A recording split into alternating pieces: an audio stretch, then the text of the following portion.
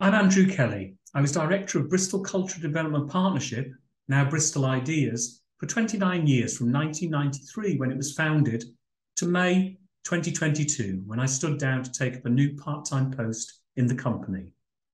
I'm talking here about Bristol, our organisation, what it has done, its impact, and where it goes next. Bristol now is seen as one of the leading cultural cities in the country.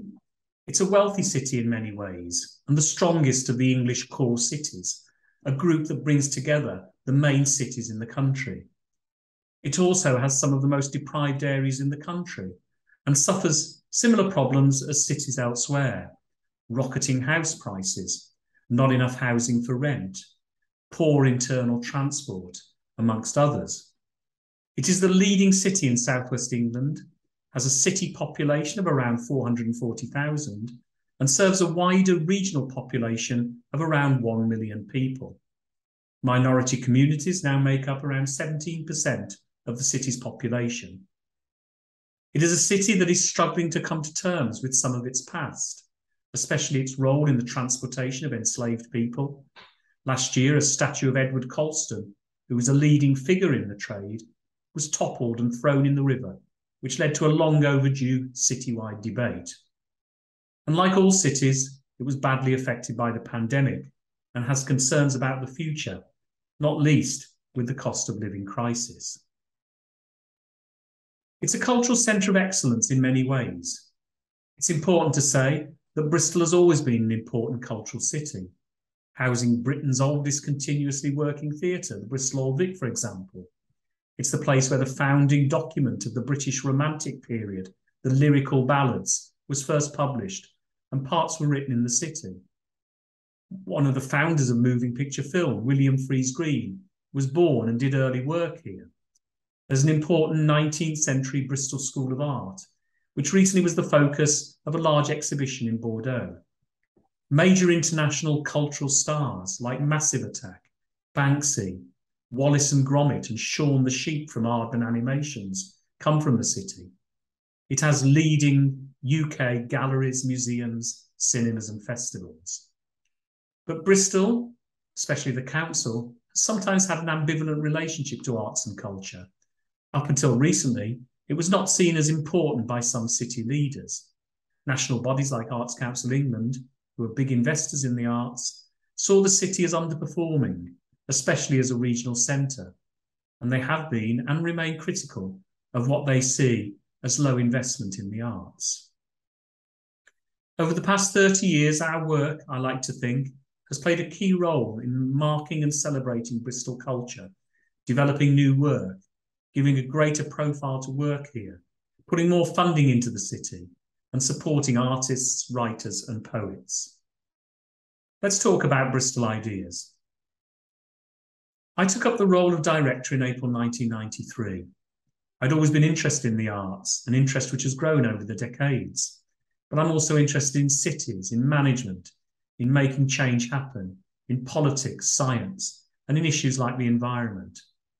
Anyone running the kind of program we do, a program which changes radically every one to two years, and which is about global ideas and challenges and solutions, needs to have wide ideas and wide interests. Bristol Ideas is a private company, though with charitable objectives. It was established following detailed research in 1992 and was funded by the three original partners Arts Council England Southwest, Business West, and Bristol City Council. research investigated art forms in the city and their impact. It concluded that a body, independent of the partners but bringing them all together to plan long-term cultural development in the city should be established. Bristol Cultural Development Partnership, as it was then and now Bristol Ideas, started work in 1993. It remains the only organisation in the country organised like this, though there are many other models of cultural planning and partnerships. Each partner had their reasons for joining. Arts Council England felt that Bristol, as the leading city of the region, should have higher and greater aspirations for cultural development and activity. Business West, a body made up of private sector organisations, knew that culture is important to a city's business prosperity and saw cultural development as part of a wider programme of renewal. Bristol City Council knew it needed to be more ambitious in its approach to culture and also had to work effectively with others in the city. We had outstanding leaders from these partners who saw the value of culture in cities. And in recent years, both of Bristol's universities have joined the partnership, fulfilling a long held ambition to bring higher education into the organisation and the planning for culture in the city. What is our approach? We seek to bring together arts and sciences, embrace the widest possible range of organisations and individuals, build on, celebrate, and commemorate Bristol's unique history while looking to the present, and help raise and widen debate about ideas and issues crucial to the future. We aim to implement a few projects directly, influence as many organisations and individuals as possible to develop joint projects through coordination of initiatives, fundraising, and marketing, and inspire widely so that all can participate and take pride in what the city does and has achieved. In this way, significant projects are created with maximum impact for relatively modest support from public funds. We do the early work that few others are able to do, or indeed want to do, bringing together the partnerships, establishing the case for the project, raising funds. This means that organisations and artists can get on with the work they are best placed to do it also strengthens the cultural sector and artists and writers and poets as funds raised by us go to these organisations and individuals directly. And this is something we have agreed from the start as a key model for our work. We have also kept a small staff throughout our history, never more than five people, and for many years as low as one. At the heart of our work are ideas. And at the heart of our operation are core principles. Bristol's past contributes to Bristol's future. Great art should be celebrated and available to all. Culture is about arts and sciences and embraces subsidized and commercial activity. The arts and the creative economy contribute to economic growth. Partnership is critical. The more people and organizations that are involved in a project, the greater the opportunity for successful creative thinking and action. We lead where needed, but work through and with others where possible and appropriate. Extensive research is the basis for all work. Marketing and campaigning are part of all projects. Renewal of vision, work programme, and activity is ongoing and based on thorough evaluation of all projects. Long term relationships are nurtured especially for ideas, fundraising, and project development. Bristol's future is the future also of our region, the West of England, and diversity is central to all our work. We have been influenced strongly by cultural planning ideas and work over many years from writers like Lia Ghilardi, Charles Landry, and Franco Bianchini, and organisations like Comedia. At the centre of all this is culture and the importance this has for people for the place where they live, study, work, or visit, for jobs and prosperity, and most of all, for quality of life. Bristol Ideas started work in 1993 in four main areas making the case for Bristol, building the case for the partnership and partnership working, establishing at least one core project, and leading on the cultural redevelopment of Harbourside, a very significant area of land right at the heart of the city centre. Much of the work of partnership building and planning is never seen publicly. Strategy development, networking, fundraising, planning, and marketing. This is often the most underestimated, though time consuming of all work, and remains so to this day. I would estimate at least 60% of our time is spent raising funds, building and managing networks and partnerships, and developing strategies and business plans. Making the case for Bristol meant being involved in debates taking place elsewhere, and those generated by us. We ran a series of conferences, for example, with linked books and publications. An early one was how you manage partnerships. Another looked at the impact of arts and culture. Two looked at legibility and cities. considerable time was devoted to the renewal of the harbourside area, then a priority for the city. This was 60 areas of prime real estate next to the river in Bristol. Plans included a new concert hall, a new centre looking at wildlife, the electronic zoo using media uh, techniques to tell the story of the natural world in new ways. And it was joined also by a science centre, which eventually became a project called At Bristol, and now it's called We the Curious. In addition to the capital renewal of Harbourside through culture, we also ran bids for the 1998 Year of Photography and the Electronic Image and launched and managed the film festival Encounters, which was established originally as part of the national celebrations uh, in the United Kingdom of the centenary in cinema in 1995, but which was successful enough to become an annual event. We have since gone on to lead many festivals and year long celebrations and commemorations.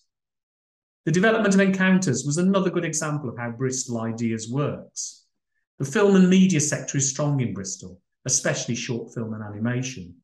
The partnership that resulted, bringing together BBC, Aardman, many other media companies, our media centre, and the universities, led to a festival which is now in its 26th year. These early projects showed our approach at its best. Even if the Harbourside Centre for, for Arts and Music eventually failed, and the year of photography bid was lost. They were about arts and sciences, key aspects of culture for us. They built on aspects of what Bristol was good at, even excelled in hands on science, animation and short film, natural history media. And we adopted this model from the start of doing the work no one else was able to do before handing over to others to run. Right from the start, this approach established the partnership our work as a key part of Bristol's cultural planning. Art of Bristol has been the city of Bristol and the future of cities. We need to get cities right. As the world urbanizes, urbanizes rapidly, cities offer the solutions to the environmental crisis. At the same time, cities are developing in the wrong ways. Superstar cities becoming a world apart from the rest, growing inequality, a housing crisis, and tension and dispute over immigration are some of the polycrises we find cities now face. Much of our work over 25 years has been about creating new organisations and institutions and festivals and strengthening the cultural organisations and activity in the city.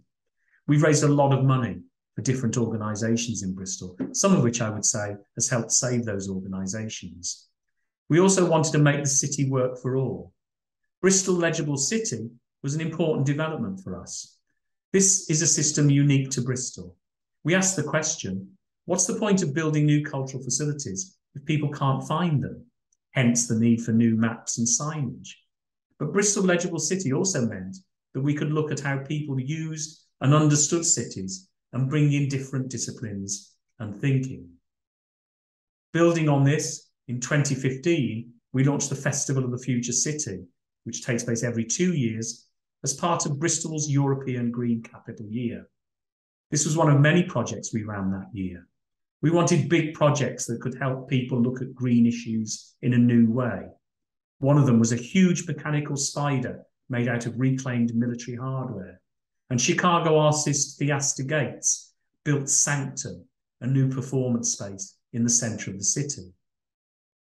For us, and by now, and we're talking about 15, 20 years on from our work, cultural planning embraced all aspects of work about cities, the housing crisis, how to deal with concerns about immigration and promote integration, the future of work, social mobility and inequalities, cities and wildlife, and making sure that smart cities were for all, and not just a few. And on the back of this, in addition to our Festival of the Future City, we launched a film festival about the future of cities as well. Inevitably, there have been some failures and disappointments. We were not able to complete the new concert hall, which would have added much to the renewed Harbourside area and become an international symbol of the new Bristol. It also, frankly, dealt a psychological blow, and for some years, the appetite for large scale cultural projects in the city seemed to disappear. Losing the 2008 Capital of Culture bid was another blow.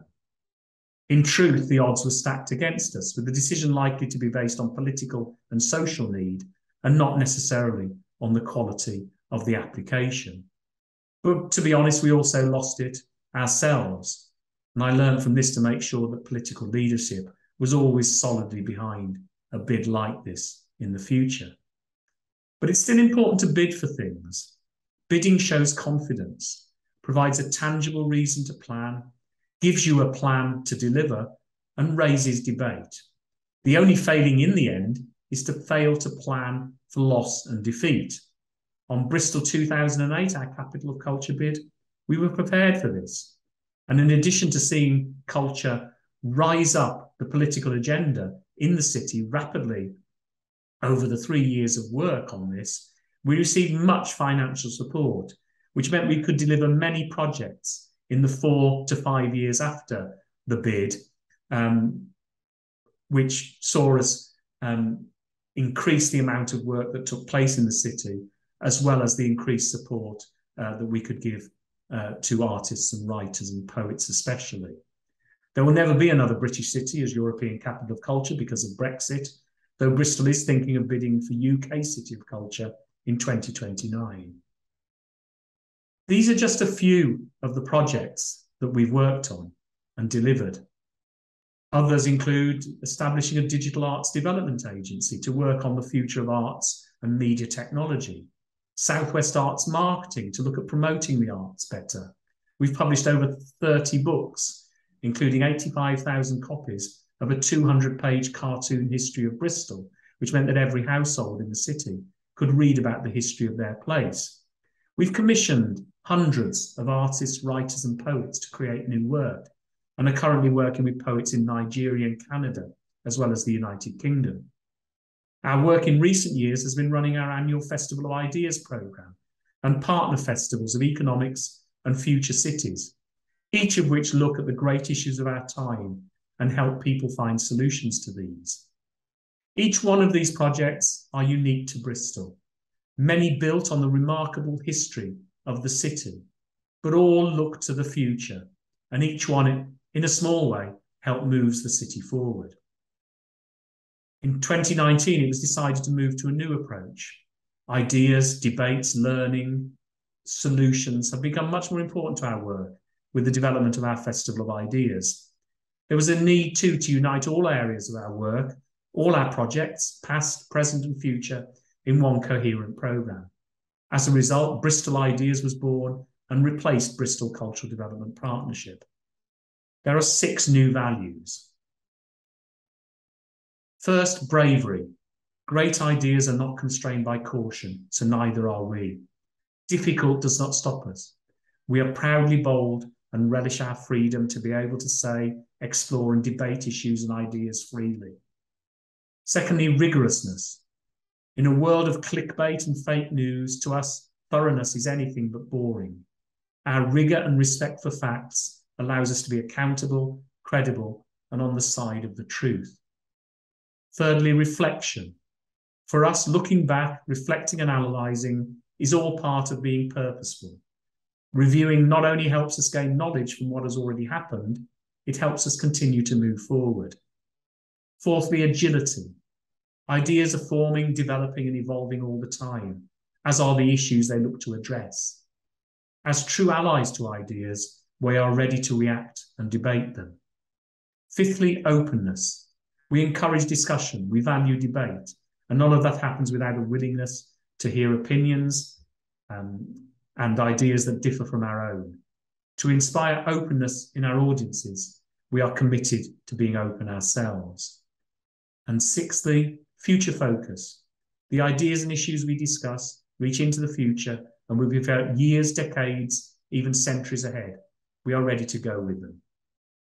There's no doubt that Bristol is in a far better position than it was 25 years ago. The range and quality of activity culturally is stunning. The city is now seen as a cultural leader and is the city that many others aspire to becoming. There have been many temporary setbacks, lost bids, austerity measures in recent years, and the pandemic have all been short term problems, and some will cause long term difficulties. but I have no doubt that Bristol will bounce back. We can't claim all the credit for this, and nor would we want to. Our partnership has been a partner and colleague with many others, but I think it has helped change Bristol for the better. Thank you.